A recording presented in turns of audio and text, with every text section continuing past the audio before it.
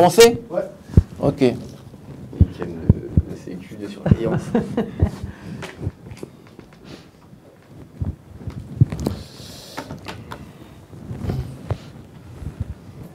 Ici. Hein. Bonjour à tous, bienvenue sur euh, le plateau de Chalon TV pour une nouvelle émission sous les projecteurs de Chalon TV. Et vu le temps extérieur, ces projecteurs nous font le plus grand bien parce qu'ils nous réchauffent. Donc une nouvelle émission thématique. Euh, on va parler un petit peu de musique, de musique électronique euh, et d'un festival qui a lieu à la fin de la semaine puisqu'il a lieu le 7, 8 et 9 euh, octobre. Et ce festival, dont le nom est Dancing People Don't Die. voilà, vous avez tous compris, hein, voilà, c'est de l'anglais. Donc ce festival est organisé par euh, euh, la. Voilà. Et ça se passera, les concerts auront lieu à l'abattoir. Alors, un petit mot sur euh, cette péniche qui n'est pas sur l'eau. Qui hein, n'est pas un bateau. qui est pas, qui est pas loin de l'eau quand même, hein, donc, mais qui n'est pas sur l'eau. Alors, c'est quoi cette péniche? Tout à fait. Ben, la péniche, c'est la salle tenue par l'association Mosaïque, euh, et donc qui est sur le site de l'abattoir, sur le quai Saint-Côme, au 52 quai Saint-Côme. Donc le site de l'abattoir où on retrouve aussi les activités du CNAREP, le Centre national des arts de la rue et de l'espace public. Celui qui fait Chalon, Chalon dans la rue, hein, voilà le court. festival que tous les Chalonnais connaissent. Euh, et puis il y a aussi des groupes qui viennent euh, bosser, qui viennent répéter. euh, Il y a des résidences, c'est ça? Voilà, ouais. D'artistes. qu'on accueille nous ou que le CNAREP accueille en théâtre de rue. Et puis, ben, il y a une activité aussi, enfin, les gens qui passent librement, il y a les graphes euh, que tout le monde peut voir de la route, euh, qui sont régulièrement renouvelés euh, par les artistes qu'ils veulent au passage. Mais c'est quand même un lieu de, de concert, Oui, bien sûr. en, ouais. en La- priorité. La péniche, oui, c'est un lieu de concert. C'est notre, euh, c'est le, euh, ce qui est inscrit dans les statuts de l'association Mosaïque. Notre activité principale, c'est d'organiser des concerts de musique actuelle. Actuel, électronique, c'est quoi la différence Alors, les musiques actuelles amplifiées. euh, Amplifiées, comme- amplifiées. ah, amplifiées, bah, comme, comme son nom l'indique, euh, comme leur nom l'indique, c'est euh, des musiques qui nécessitent une amplification, donc qui ne sont pas avec des instruments comme. Euh, alors, ça peut être du violon, mais si c'est du violon, par exemple, ça va être euh, amplifié nécessairement. C'est surtout le rock à la base, mais vraiment à la base. Après, le rock, euh, c'est une très vaste famille à l'heure d'aujourd'hui. Euh, et puis après, ça peut être toutes les musiques caribéennes, le hip-hop, tout ce qui est à consonance jamaïcaine, le- la musique latino aussi. Euh, les musiques trad euh, aussi maintenant euh, qui de plus en plus prennent part aussi mélange, font des mélanges avec musique actuelle ou musique électronique. Il y a beaucoup de mélanges à l'heure actuelle dans, les musiques. On n'est plus sur une catégorie particulière. Et donc, euh, ça se produit dans une, salle qui était des anciens abattoirs. hein. Combien de personnes cette salle peut accueillir? Alors la salle de la péniche en elle-même, c'est 299 personnes, la capacité. Et puis on a l'avantage, donc, euh, comme vous l'avez précisé, d'être sur ce site de l'abattoir, euh, qui, comme la plupart des spectateurs qui viennent chez nous d'habitude, ont déjà vu plusieurs, plusieurs salles sur ce site. Il y a une salle notamment qui s'appelle, qui jouxte la péniche, qui, qui s'appelle la Grande Tuerie, parce que les précédents, enfin les, les premiers occupants de, de l'abattoir, Pierre et Quentin, les fondateurs du festival, se sont amusés à donner des, des noms aux salles en référence à l'abattoir. Oui, Donc voilà. Donc il y a la Grande Tuerie qui, elle, a une capacité de 500 personnes. Donc on se retrouve du coup avec une capacité de 800. Euh, et puis euh, évidemment tout l'extérieur aussi qui va être, euh, qui va être ouvert au public. Euh, il y aura aussi l'âme des cochons, qui est une autre salle qui est derrière, qui sera dédiée donc euh, au débat d'Odile TV. Euh, et puis les sanitaires qui seront dédiés à la création de Aria 3000, euh, entre autres.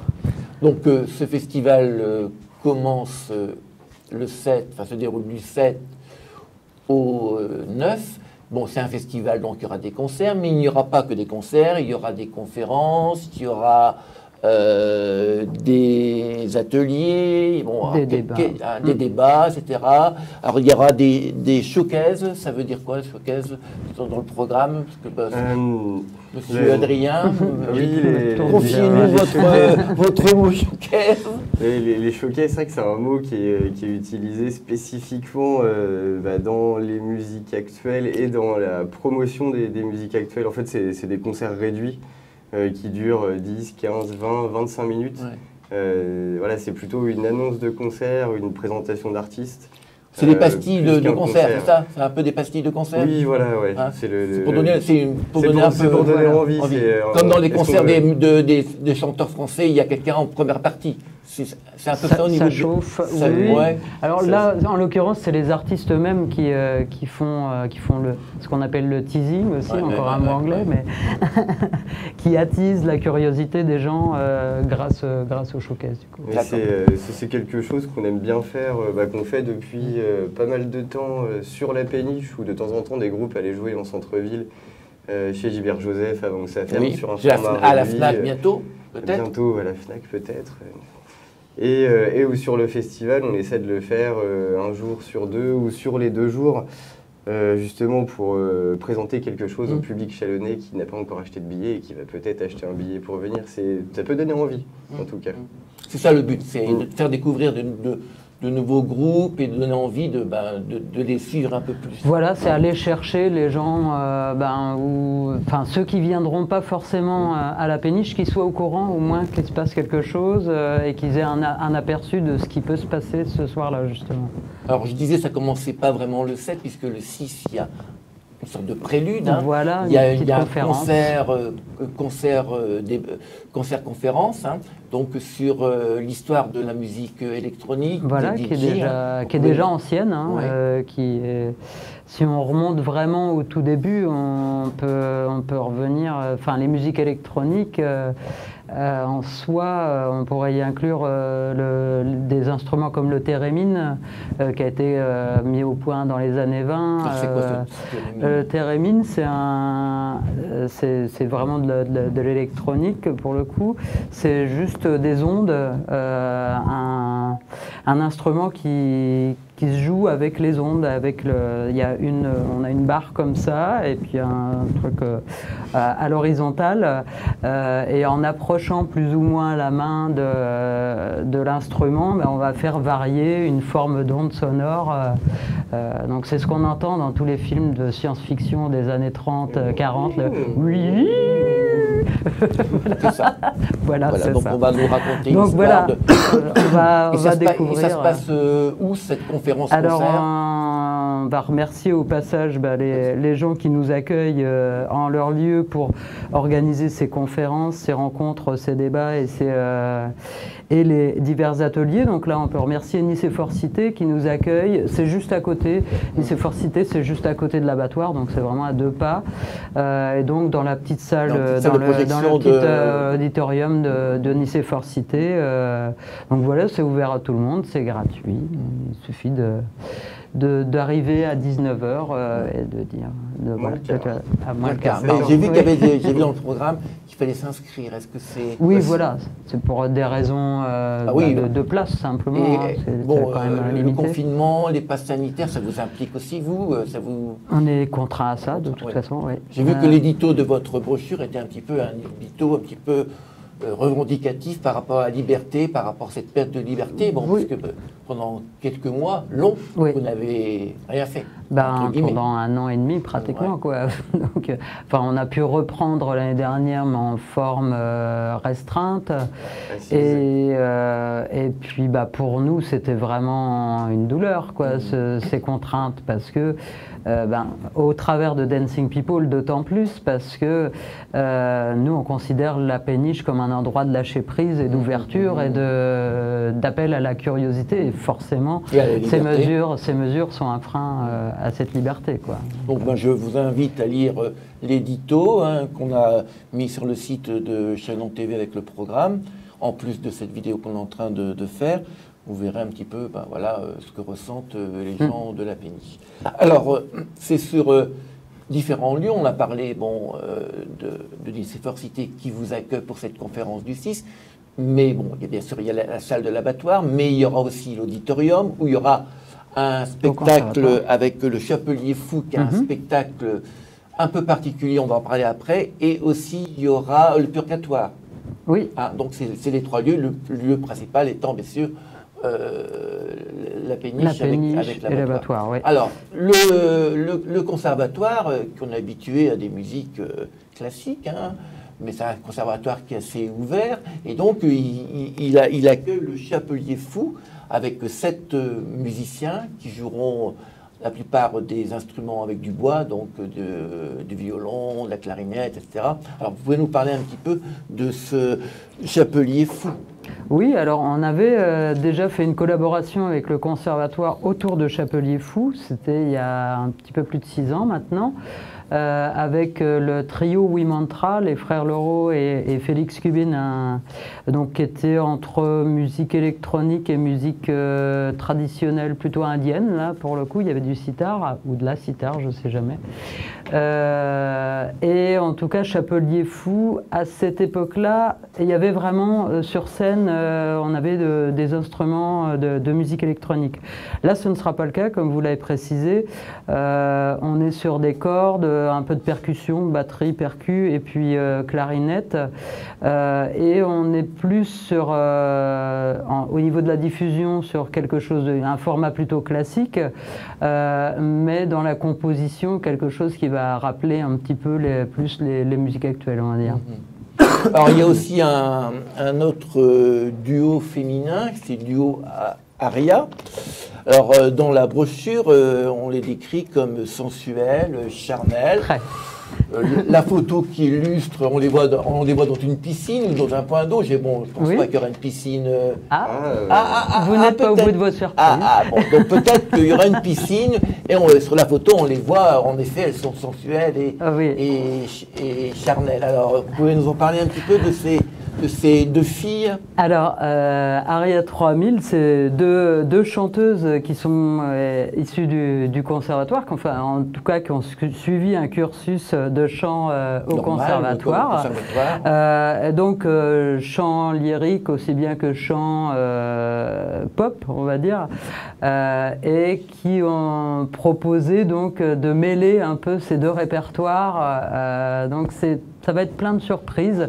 C'est vraiment une création qu'on leur a demandé pour, euh, pour Dancing People euh, à partir d'un spectacle qu'elles avaient euh, déjà mis en place auparavant. Mais là, ça va être vraiment adapté au lieu où elles jouent et puis au public de Dancing People aussi. Et oui, il y a tout un délire autour de de l'aquagym, euh, de, l'univers de la piscine. euh, donc c'est très drôle, ça se prend pas au sérieux du tout, mais en même temps ça chante très juste et, euh, et très haut. Et voilà, je vous invite euh, à venir. se baigner euh, avec elle. Voilà, exactement, à faire le grand plongeon. À faire le grand plongeon. On ira faire le grand plongeon. Euh, je vais aussi dans le programme Jean-Michel Le euh, Tard. Euh, Donc euh, vous, dans votre, euh, dans la description de, hein, parce que c'est vous qui avez écrit les, euh, le, programme, vous nous dites que il y a là une voix torturée. C'est ça? Oui, alors ça- Spectrale et je- torturée. oui. Alors vous voulez dire Jean-Michel Tard et Léonard Cotic, euh, c'est deux pseudos qui, qui se cachent, euh, donc, euh, qui sont issus en fait d'un duo que, que les Chalonnaises et les Chalonnais connaissent bien, ceux qui sont amateurs de, de musique actuelle en tout cas, euh, qui est le duo Greuze, qui a sévi pendant, pendant plus de 20 ans oui, dans pour la la torture, région. c'est bien Séville. Hein. Voilà. Ouais. Très bien. On reste dans le bon champ lexical.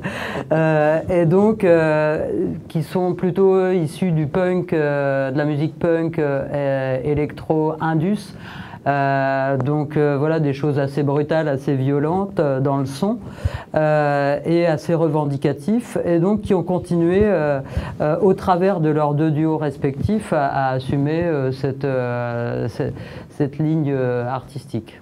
Alors on a malheureusement euh, un ou deux groupes qui ne seront pas là. Vous pouvez nous, donner- nous- Ah, nous voilà, dire, euh, on déplore malheureusement deux annulations. Les Minuit Machines qui étaient prévues sur le vendredi. avec Amandine et Hélène. ça, Voilà, on en est bien désolé, mais ce n'est pas de notre fait. Et puis euh, également Josie Full Vibes, euh, qui est aussi une ancienne de la scène de musique électronique, qui est mixe depuis 76, qu'on avait eu le plaisir d'accueillir euh, dans une soirée euh, en co-réalisation avec Acid Concept, l'assaut de Montsélémine, euh, et qui malheureusement a eu un petit souci euh, récemment, et donc euh, qui a décliné l'invitation, enfin voilà, qui a préfé- préféré se préserver.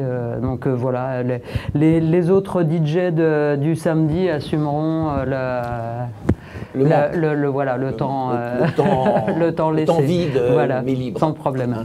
Ben, euh, donc euh, au niveau du pass, donc c'est avec pass sanitaire Bien comme sûr, dans tous ouais, les salles de concert. Et vous avez donc un quota qui a été réduit au niveau de l'accueil du public? Non, la jauge des 75% a été levée. Donc, donc, euh, là, et on fait partie en plus des départements qui, Qui qui sont, sont- moins impactés. Donc, euh, ouais. donc voilà, on a la chance de pouvoir être en jauge et de normale. revivre et de Oui. retrouver la liberté. Oui. Hein, bon. Alors est-ce que, est que vous avez euh, d'autres artistes à, à nous donner Ben, pour on peut parler nos- peut-être de Poltergeist justement Ouais, sur le vendredi. Euh, Monsieur Guiton, je vais vous laisser euh, Oui, euh, présenter cet artiste chalonnais. Poltergeist, euh, oui, bah, qui est le, le- le- le jeune talent chalonnais euh, qui, qui commence à monter, euh, qui commence à faire un peu parler de lui euh, un petit peu partout en France maintenant. Euh, voilà, c'est c'est un jeune qui a, qui a 19 ans, il a 15 ans de musique derrière lui. c'est- de musique euh, euh, bah, Conservatoire. de cursus conservatoire Ouais. euh, également, bah, l'éveil musical, électro-hack, violon, musique actuelle. voilà, il en a déjà fait pas mal et, et ce projet-là est le plus abouti pour le moment et, et voilà, il commence à s'exporter hors, hors de chez nous. Euh, hors, hors de la Bourgogne, hors de la France, ou on est encore dans une zone bah, française hors, euh, hors du département Hors du et département. puis euh, hors de la Bourgogne. euh, voilà, c'est que- comme a dit Sophie, il va tout déchirer en 2022. Euh, Oui, bon, là, avec euh, le Covid, il va déchirer en 2023. oh, pas pas- Bah, pas 2022 forcément, devrait ouais. être vraiment l'année de la reprise. Normalement, on le souhaite euh, vivement. Alors, qu'est-ce qu'il a de particulier, ce chanteur euh, chalonné qui va déchirer et qui va hum, Bah, sortir du département Il est, il est tout seul sur scène, euh, plusieurs euh, claviers, synthés, machines, euh, il chante, il joue de la guitare. Il fait tout en même temps, en fait. Il fait tout en même temps, il mixait son son via son ordinateur sur scène, plus que l'ingé son le technicien son. Bon, il commence à lâcher un petit peu le, le- le travail, et heureusement. Euh, sa musique, là, c'est plein d'influences, c'est un univers euh, peut-être un petit peu sombre, euh, un petit peu dark, un petit peu lourd, mais c'est bercé par, euh, par de la musique techno-allemande, comme pourrait l'être Compromat maintenant. On peut trouver aussi du, du- rock électronique de, de Dépêche Mode, un petit peu de punk aussi, anglais des années 70. Euh, parce qu'il il a écouté de la musique depuis tout jeune, tout jeune. Donc, il s'est imprégné de tout euh, ça, il en a fait un mixte. Il s'est voilà, il s'est un peu imprégné de tout ça. Il a beaucoup des- de traînées à la péniche. Il, euh, oui, depuis, depuis tout petit, il, Oui, il vient donc écouter il a été influencé par la mixité, la diversité et la musique euh, plurielle et euh, Voilà, électronique oui. euh, de la péniche. Ses, parents autres. écoutaient beaucoup de musique, euh, sa sœur écoutait beaucoup de musique, il était euh, au conservatoire depuis tout petit aussi. Donc il a voilà, toutes ces influences qui tournent dans sa tête et puis euh, là, il, il va vers euh, ce qu'il est un peu en tant que, que compositeur. Et il a une thématique dans, dans, dans ce qu'il chante ou, pas? Et, Euh, ouais, pas- c'était- ouais, C'était Pas, sombre. pas- pas une euh, thématique particulière, mais, euh, des- mais chaque morceau est, est emprunté d'un état d'esprit au moment où il les compose. Euh, il a un morceau sur notre mère nature Mm. qu'on est en train de, de détruire. Il a un morceau sur un peu des amis qui l'ont déçu. Enfin voilà, c'est au niveau du texte, euh, c'est vraiment euh, un morceau, euh, un état d'esprit ou un sujet euh, qu'il explore. Il est auto-compositeur. Oui, oui, oui. Euh, il fait tout. oui, oui, il, fait- il Il compose, joue, il compose il la compose, musique, euh, il il, chante. écrit. hein. Donc ça, c'est Euh, déjà euh, Oui, oui, assez impressionnant à à, à oui, 19 c'est- ans ouais. de, de- de faire euh, ces trois parties qui sont en général euh, confiées à des gens euh, différents Mm. souvent. hein. Mm. Donc, bah, on- donc, et il vient, donc, donc il se produit quand? Euh, donc il se produit le vendredi 8 octobre, euh, un petit peu avant minuit euh, à la péniche, sur le site de l'abattoir. Et puis c'est l'occasion de le voir avant qu'il décolle et qu'on puisse plus trop le voir euh, en Bourgogne. D'accord. Donc, bah, on va peut-être finir par, par ça, à moins que vous ayez quelque chose à ajouter. Ah, Alors, bah, avis, vous- comment venez, on tout va être bien. Venez, voilà, le mot est venez. Oui, Alors, peut-être. venez, venez surtout euh, voir notre ch- chalonné qui va décoller, qui va nous quitter pour aller vers les vers l'étranger, on espère pour lui, mais venez voir aussi euh, euh, les autres concerts, ou Voilà, quel que soit le lieu, parce que c'est une diversité. Assister aux rencontres, Oh, aux ah, ateliers. bon. euh, Alors, déjà, voilà. je pense qu'à un Ouais. concert comme ça, il y a déjà de la rencontre. hein. Oui, les gens ne sont pas assis sur un, un fauteuil numéroté, puis voilà, bonjour, bonsoir. puis voilà. Mm. Là, il y a, ça se parle, ça, ça chante. enfin, il y a, Mm. euh, c'est un peu aussi ce qui caractérise euh, la musique plurielle, c'est la- la- le, dynamisme du Oui, bien public, sûr. hein, Mm. hein, qui n'est pas un public euh, figé comme ça peut l'être dans les concerts de musique classique. Chacun Mm. a son public et ses répertoires. Donc, on Euh, rappelle, oui, Non, mais voilà, c'est que euh, au-delà des, des deux soirées de concert euh, qu'il ne faut absolument pas rater, tous les petits temps euh, bah, que l'asso a voulu proposer Mmh. à côté euh, sont, sont des temps très intéressants liés à la musique et où il y aura euh, de l'échange, des choses à apprendre, des belles choses à voir. Euh, notamment la rencontre avec Rien Virgule Mm. le vendredi euh, à 18h, qui est un des projets qui joue le vendredi soir aussi, et où là le public a la chance euh, bah, de pouvoir poser des questions, rencontrer ses artistes, parler de la tournée, de ce qu'ils mangent, s'ils Mm. dorment. Euh, donc voilà, c'est. et de leur vie d'artiste et aussi des- de, de ce qu'ils ont vécu parce que Oui, bon, oui. les artistes vous en tant qu'organisateur euh, de, de spectacles de rencontres vous avez été très pénalisés par euh, le confinement mais les artistes Ah oui, euh, oui, clairement. aussi puis tous les intermittents du spectacle, oui. hein. Hum. Hein, donc là c'est vrai que ça on respire la Hum. liberté revient espérons qu'elle restera et qu'on n'aurait pas de nouveau un coup de vent Inch'Allah. Inch'Allah. Alors, Inch'Allah, et on peut dans, dans toutes les dans toutes les langues. euh, Mm. hein. Donc bah, ben, voilà, vous avez un rendez-vous bientôt. Hein, c'est pas dans 15 jours, c'est la fin de la semaine. C'est euh, à la l'abattoir organisé par euh, la péniche. Et nous y serons chez Long TV avec Mathéo. hein. J'ai confié euh, la mission de couverture à un jeune Parfait. parce que euh, Bah, oui, je, oui, je peux venir aussi, mais voilà, euh, bon, euh, on est un peu, voilà, bon, voilà, dire, on couvrira, puis Mathéo essaiera de faire l'interview de notre jeune Chalonnet avant qu'il disparaisse de notre région et que ça soit difficile de, de l'interviewer. Merci à vous. Donc Merci. on vous rappelle, on rappelle ben, que vous êtes chargé un peu de l'organisation et de la communication de tout ce qui se passe euh, à, à la péniche. Voilà, bah, on est deux des quatre salariés qui composent euh, l'équipe salariée de la péniche. On en profite pour remercier euh, le CA et tous les bénévoles euh, qui nous accompagnent sur euh, cette aventure un petit peu dingo euh, et tous les intermittents qui travaillent avec nous aussi. évidemment. Alors, le CA, c'est pas le conseil Le, le conseil d'administration, ouais. de, de, de de l'association. qui nous soutient à 200% et, Et vous êtes soutenu par le ministère de l'Agriculture Un petit peu, via- via oui, la via, Drague. via, la, via la péniche, quoi. enfin Via la pas, pas, pas spécialement sur le festival. Mais, Oui, alors donc ouais. euh, hein, vous avez Oui. compris que la péniche, l'abattoir, le festival, tout ça c'est un peu quand même un petit peu compliqué, la mosaïque, tout ça. Mm. On essaiera de faire un reportage où tout sera clarif- clarifié. On saura qui fait quoi et qui est responsable de quoi. Tout ça au moins, il faut rendre à César ce qui appartient à César. Donc voilà, bon rendez-vous, euh, on espère vous voir à l'abattoir ou au conservatoire ou euh, Au au purgatoire, ou chez ou à Nicéphore euh, cité dans cette petite Mhm. salle qui est 30 par 40 Oh, personnes. euh, un peu plus, 50. Ouais, 50, je crois. voilà. Ouais. Pour ces concerts, pour ces discussions, pour ces rencontres, euh, donc à la fin de la semaine. Merci à vous et à bientôt pour une prochaine émission qui sera consacrée, on va changer, on va parler de liberté, on va parler bien sûr euh, de la police et, et euh, de- de- du Beauvau de la sécurité et euh, de, ben, avec, le sénateur, avec le sénateur Jérôme Durin sur ben, comment le Parti Socialiste, puisque c'est un socialiste, comment il voit la sécurité. Et lui, il a des membres du, du Beauvau de la sécurité, donc il va nous raconter un petit peu ça. Et on avait fait une émission avec la police pour écouter un petit peu ses doléances. Voilà, donc on parle. Nous, on essaie de parler de tout, De tout le monde. pour que tout le monde bien. soit, euh, soit. Et on est toujours euh, à la recherche euh, de témoignages euh, diverses. Si vous avez des choses à nous raconter, eh ben, ça peut être un face à la caméra. On est toujours preneur de vos histoires, petites ou grandes, car chacun a toujours